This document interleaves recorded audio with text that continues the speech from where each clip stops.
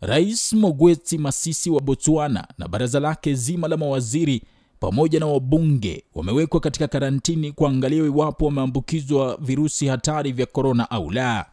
Vyombo vya habari vimetangaza habari hiyo na kuongeza kuwa uamuzi huo umefikiwa baada ya mfanyakazi mmoja wa masuala ya afya aliyekwenda kuwapima korona wabunge kuthibitika kuwa yeye mwenyewe ameambukizwa ugonjwa wa COVID-19.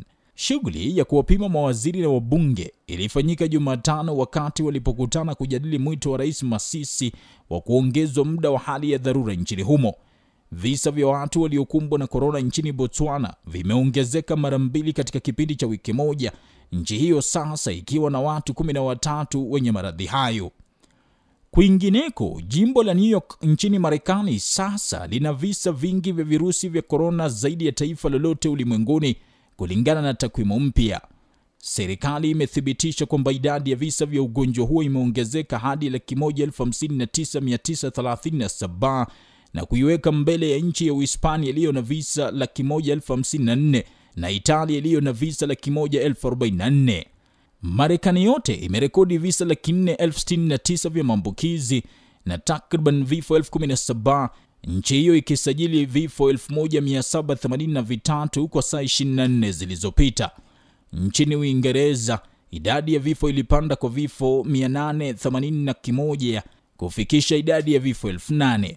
Waziri Mkuu Boris Johnson ambaye amekuwa katika chumba cha ugonjwa mahututi akitibiwa ugonjwa huo ameondolewa katika chumba hicho japo bado yupo hospitalini. Italia linasalia kuwa taifa ambalo limeandikisha idadi ya juu ya vifo ikiwa imesajili vifo elfu kumi na tisa, madaktari mia moja wakiwa miongoni mwa wahanga hawa. Madaktari hao ni pamoja na madaktari wastaafu ambao walirejeshwa kazini kusaidia vita dhidi ya korona, wauguzi 30 pia wakiripotiwa kufariki, wakiwemo pia mamia ya wahudumu wa afya wanaoendelea kutibiwa. Barani Afrika, Afrika Kusini ndiyo nchi yenye maambukizi ya juu zaidi, nchi hiyo ikiwa imesajili maambukizi 1934 na vifo 18 kufikia Ijumaa mchana. Misri visa vya maambukizi 1699 na vifo 118. Algeria maambukizi 1666 na vifo 235. Moroko maambukizi 1374, 97 kati yayo yakiwa vifo. Kameruni ikisajili vifo kumi na viwili kati ya maambukizi 803 na Tunisia vifo 25 kati ya maambukizi 643. Ivory Coast imesajili vifo vitatu kati ya maambukizi 444. Burkina Faso ina vifo 24 kati ya visa 443.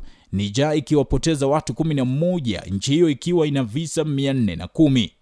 Kote ulimwenguni kuna takriban visa milioni 1.7 vya maambukizi na vifo elfu 95 huku watu laki tatu nusu wakitibiwa na kupona kutokana na ugonjwa huo. Sakali Dalmas, West TV, taswira kimataifa.